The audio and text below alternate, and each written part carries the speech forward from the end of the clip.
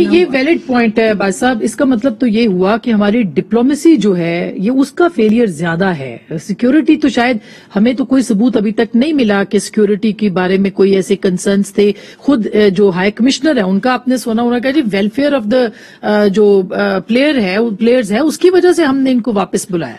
तो ये इसका मतलब है कि। डिप्लोमेटिकली हम थोड़े से क्या शेर हादसा हो तो उसके बाद जो हादसा होता है वो उसके उस पर रिएक्शन पे होता है।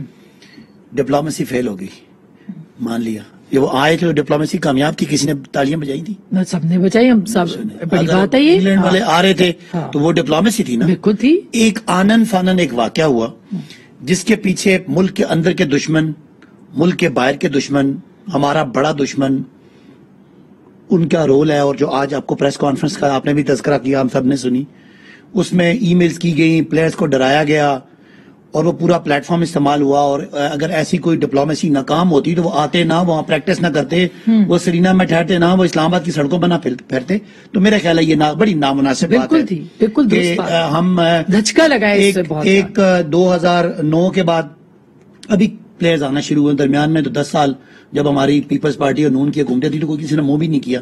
लेकिन आज बड़ी अच्छी बात है मैं नाज जब मेरे साथ बैठी है ये इस चीज़ को तो ये क्रेडिट थोड़ा सा पिछली हुकूमत को भी दे दें कि उनकी वजह से। क्रेडिट- नजम सेठी साहब को भी दे दे थोड़ा सा मैं क्रेडिट पहले मैं पूरी बात कर लूँ अच्छा, क्रेडिट अच्छा। जहाँ तक क्रेडिट आया कि इन्होंने हमेशा पीपल्स पार्टी ने अच्छी बात की। जिस तरह नून लीग मरियम साहब ने मज़ाक उड़ाया जिससे पाकिस्तान के दुश्मन खुश हो रहे थे। वो जो ट्वीट कर रही थी सबज पासपोर्ट को आज अल्लाह का फजल है। वो जो जी आ, क्या होते हैं जीएसपी प्लस यूरोपियन यूनियन ने दे दिया हाँ आज अच्छी खबर है। आ, इसके अलावा बड़े मशहूर साफी हैं।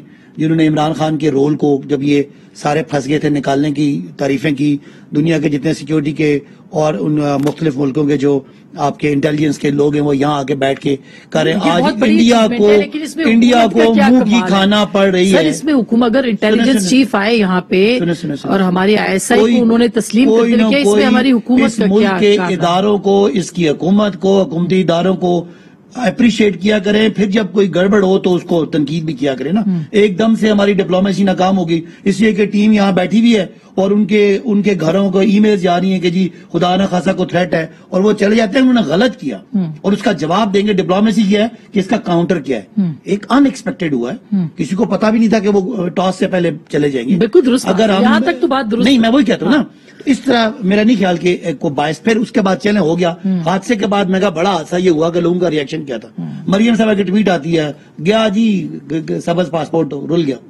मतलब ये कोई करने वाली बात प्राइम मिनिस्टर ने भी एक दफ़ा कहा था रेलू कट्टे। प्राइम मिनिस्टर ने रेलू बाहर- वाली टीमों को कह दिया रेलू कटे कट्टे। वो कोई हादसा नहीं हुआ उस वक्त प्राइम मिनिस्टर नहीं थे। वो हादसा नहीं हुआ था। ये हादसा हुआ। कौम रंजीदा है कौम के लीडर्स का काम है कि अपने कौम के साथ खड़ा होना कि जी हम एक दहशत गर्दी की जंग लड़ी हमने अस्सी हज़ार बंदा मरवाया अपना हमने डेढ़ सौ अरब डॉलर अपना नुकसान किया। दुनिया के सबके सामने खड़े होकर गोलियों हमारे लोगों ने की अच्छा, मैं और उस उस पाकिस्तान सुने इसमें आपको पाकिस्तान के साथ खड़ा होना चाहिए और जो पाकिस्तान के साथ खड़ा नहीं होता या वो इमेच्योर है। और या फिर मैं ये कहूँगा आप तो आप कहेंगे करना आप लोग वो हुब्बल वतनी के सर्टिफिकेट बेचते हैं हाँ। तो आप मुझे कहेंगे कि मैं वो क्या होता है? बगावत का गद्दारी। का सर्टिफिकेट बेच रहा हूँ लेकिन गद्दारी और हुब्बल वतनी के दरमियान भी एक लाइन होती है वो लफ्ज ऐसा है मैं बोलना नहीं